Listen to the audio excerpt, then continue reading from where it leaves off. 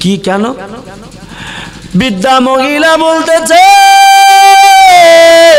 কিবা বললাম, কিবা ভুল করলাম, কিবা বললাম, কিবা ভুল করলাম।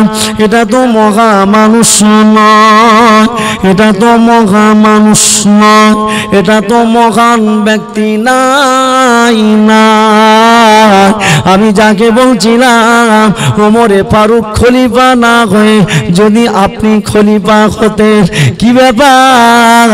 আমি বিয়া দেবী করলাম, আমি বিয়া দেবী করলাম, আমি চিনতে পারি না। ও আমাদের খলিফা ওমরে পারো।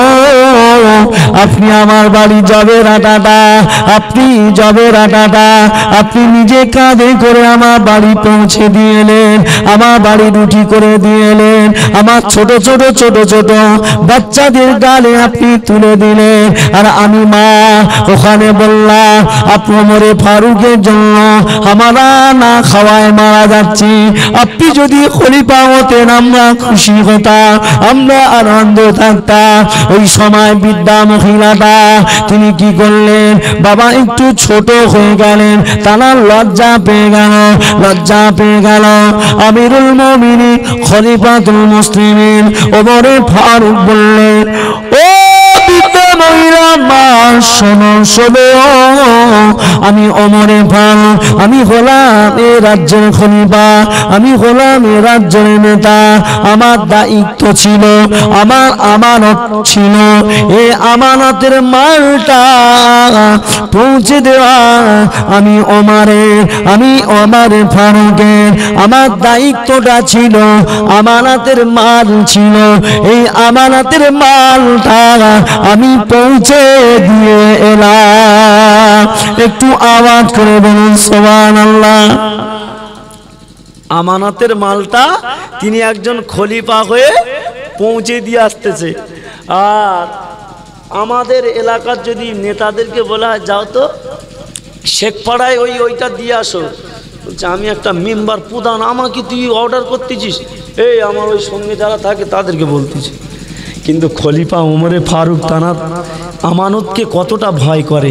ভাই, আপনি দেখবেন একটু দু সাল, দু সালের দিকে একটু আগিয়ে আসেন, দেখবেন তখন খারাপ মানুষরা যেটা অবদা করতেন যেটা অদা করতেন সেটা অবদা মতো কাজ করতেন। আমানতের জিনিস কারুর মাল যদি রেখে দিত না কবে ওই ভাইয়ের কাছে পৌঁছে দেব? আর এখন মানুষের কাছে দাও না পাঁচশো টাকা বলে ভাই এইটা রাখ তুই সে কালকে দিয়ে আসিস দে, মন্টুর কাছে পৌঁছে দে। ও সকাল হবে এখন বাজার যদি করতে যায় টাকা যদি শর্ট শর্ট পড়ে যায় ও পাঁচশো টাকা খরচ করে ওর থেকে গোশ কিনে নিয়ে চলে আসবে।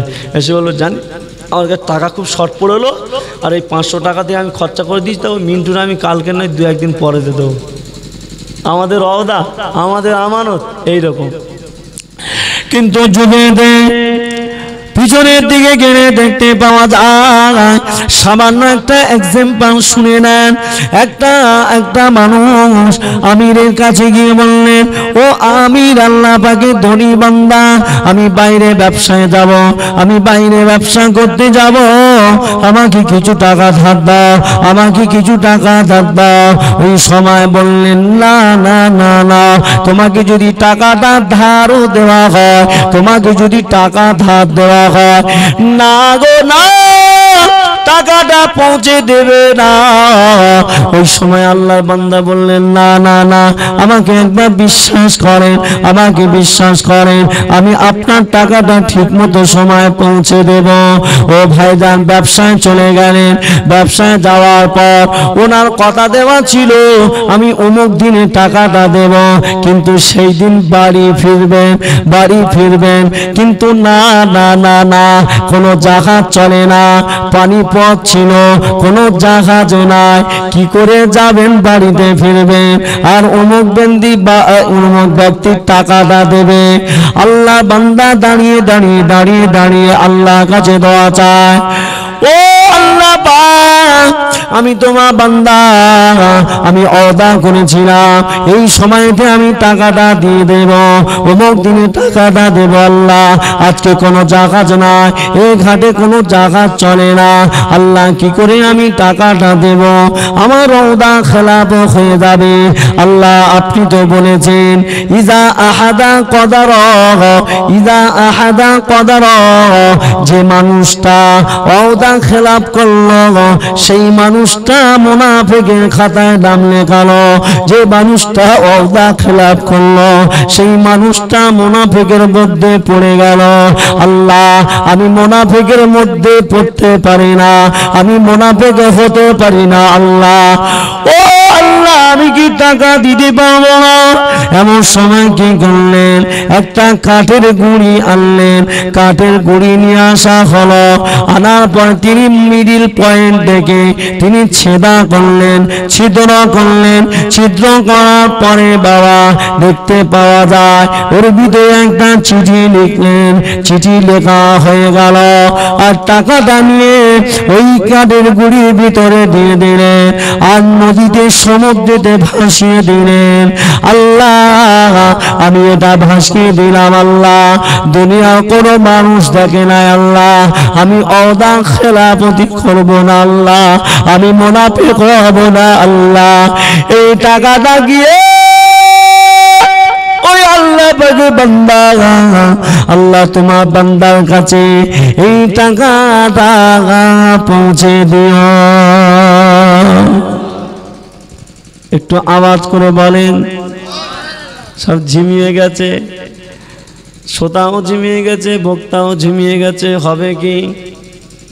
তারাবি পড়াচ্ছে ইমাম সাহেব, খতম তারাবি হচ্ছে, পড়াতে পড়াতে মুসল্লি বলছে, ইমাম সাহেব শটে মারো, আমরাও ঝিমোচ্ছি, হেঁটো কেলকে যাচ্ছে।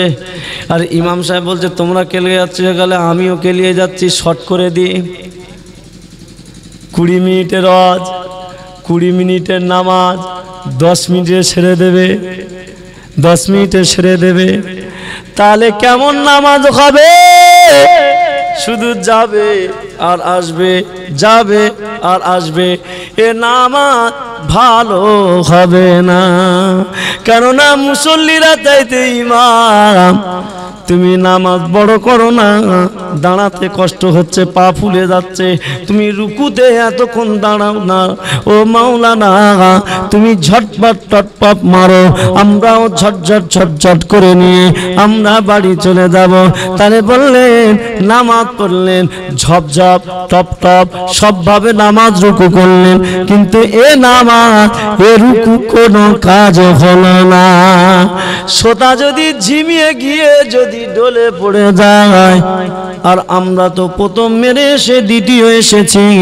আমরাও ঢলে পড়ে যাব। আগামী দিনকে ফের জুম্মার দিন।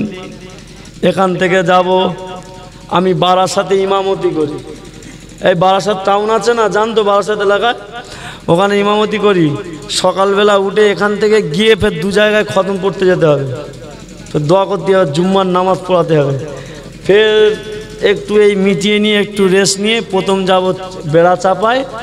ওখান থেকে ফের হুগলি, চাপাডাঙ্গা পুরসুরা মাঝখানে এক ঘণ্টা সময়। কি করে যাব?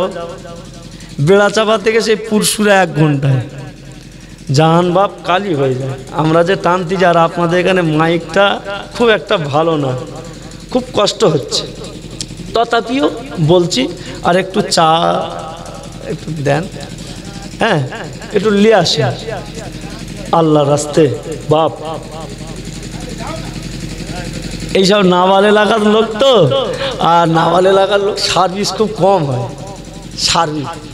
না, বল সার্ভিস খুব কম হয়। এই দেখেন, শহর এলাকায় শহর এলাকায় তাদের সব দিক থেকে সব স্মার্ট তো। আর আমাদের খেটে খাওয়া লোক, আমাদের কি করবে? ও চাচার যদি বলি, চাচা, সারা এই সারা রাত জলসা শুনে হচ্ছে, সকালবেলা ঘুমাবে। বলে, ভাইপো, তুমি তো এখান থেকে গিয়ে হয়তো শুয়ে পড়বে, গাড়িতে ঘুমাবে। আর আমি সকালে এখান থেকে শুধু গিয়ে ফজরের নামাজটা পড়ে বাড়ি গিয়ে তোমার চাচি বলবে, কোদালটা লাও আর মাঠে যা কোদালটা লাও, মাঠে যাও। আর কোদাল যখন চালাবো, আমার ঘুম সব ছুটে পালাবে। ও নজওয়ান যুবকেরা আমার আব্বা জানেরা ও আমার নাজুয়া যুবকিয়া তরুণেরা তাহলে ওই মানুষটা আমানতে খেয়ানত হয়ে যাবে অদা করলেন, কিন্তু অদা ভঙ্গ হয়ে যাবে। তার জন্য টাকাটা পাঠিয়ে দিলেন। কিছুদিন পরে ওই মানুষটা, তিনি তারা বাসায় ফিরে আসবেন, তিনি তারা বাসায় ফিরে আসবেন। এই মানুষটা ঘাটে দাঁড়িয়ে আছে। আজকে তো টাকা দেওয়ার সময় ছিল, আজকে তো টাকা দিবে বলেছে, কিন্তু টাকা তো দেয় না, ঘাটে কোনো জাহাজ নাই। ঘাটে কোনো নৌকা নাই, ঘাটে কোনো জাহাজ নাই। আমাকে কি আজকে টাকা দেবে না? কিন্তু দেখা যায় একটা কাঠ ভেসে ভেসে ভেসে ভেসে ওই ঘাটের কাছে এসে দাঁড়িয়ে গিয়েছে। ওই ঘাটের কাছে দাঁড়িয়ে গিয়ে তখন আল্লাহ বান্দাটা দেখতে পেলেন কি ব্যাপার? একটা কাঠের গুঁড়ি ভেসে বেশি আসে। কিন্তু এই কাঠের সাথে একটা চিঠি মতো কাগজ দেখা যায়। এতে কি লেখা আছে? ওই মানুষটা কি করলেন কাঠের গুঁড়িটা তুললেন। এটা হলো কাঠ। এই কাঠটাকে যদি বাড়ি নিয়ে যাওয়া হয়, এই বাড়িতে নিয়ে যাওয়ার পর এটা জ্বালানি হয়ে যাবে। ওই মানুষটা কাঠের গুঁড়িটা মাথায় করে নিয়ে বাড়িতে চলে আসলেন। বাড়িতে আসার পর কাঠটাকে ফাড়া হবে, কাঠটাকে ফেলে দেওয়া হবে, ফেলে দেওয়া হবে। কিন্তু যখন কুড়ুলটা নিয়ে ফাটতে যাবে, এমন সময় দেখতে পায়, ওই কাঠের মাঝখানে কিছু চিঠি টাকা রয়েছে। ওই মানুষটা চিঠিটা খুললেন, খুলে নেওয়ার পর চিঠিটা দেখছে, ও আল্লাহ পাকের বান্দা, আমার টাকা দেওয়ার কথা ছিল, আমি আজকে যেতে পারি না, কোনো জাহাজ চলে না, কোনো রাস্তা না সেই জন্য আমি টাকাটা কাদের গুড়ির সঙ্গে পাঠিয়ে দিলাম। একটু জোরে বলুন সোবান ওই মানুষটা যখন সময় হয়ে গেল, ওই মানুষটা যখন সময় হলো, বাড়িতে ফিরে আসবে। বাড়িতে আসার পরে আল্লাহ বান্দাকে জিজ্ঞাসা করলেন, এ আমির বান্দা, এ ধনী বান্দা, বলো বলো বলো বলো, তোমার টাকাটা তো আমি দেই না এই নাও আমি তোমাকে টাকা দিলাম। কিন্তু ধনী বান্দাটা বললেন না। ও আমি টাকা পেয়েছি ভাই। আমাকে টাকা দিতে লাগবে না। আমি আপনার চিঠিটা দেখেন। এই দেখেন আমার কাছে আপনার চিঠিটা রয়েছে।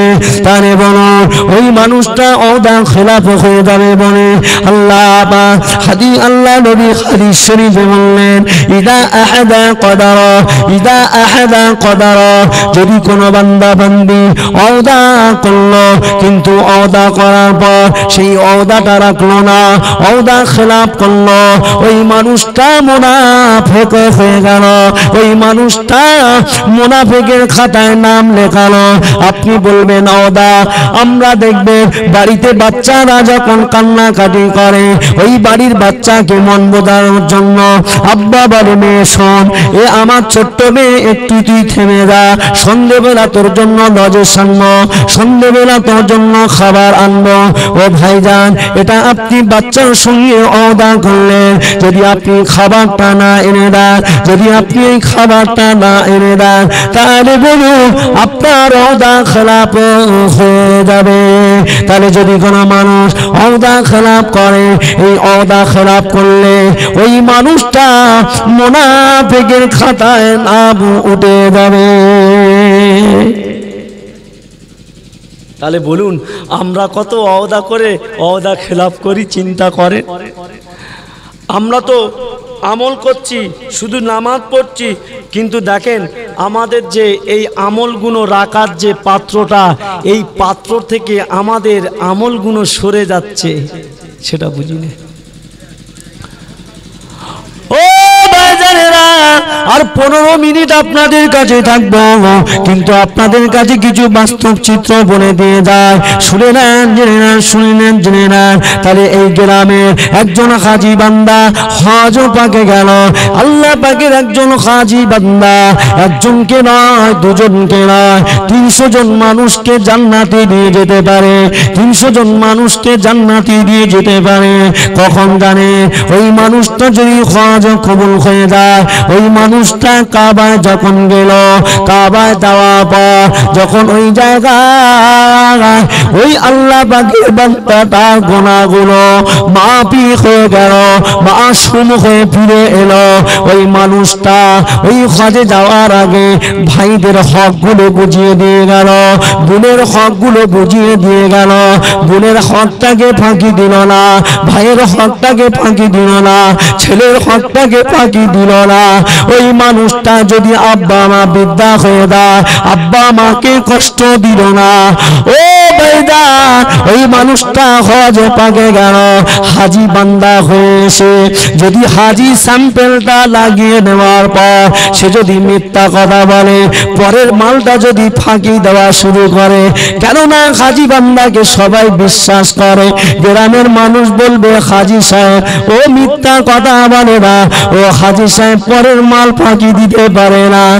না, হাজি বান্দা, যদি তোমার স্যাম্পেলটা পিছনে লাগিয়ে নেওয়া পর তুমি যদি এই কাজগুলো করো, তাহলে তোমাকে পাকড়াও হয়ে যেতে হবে।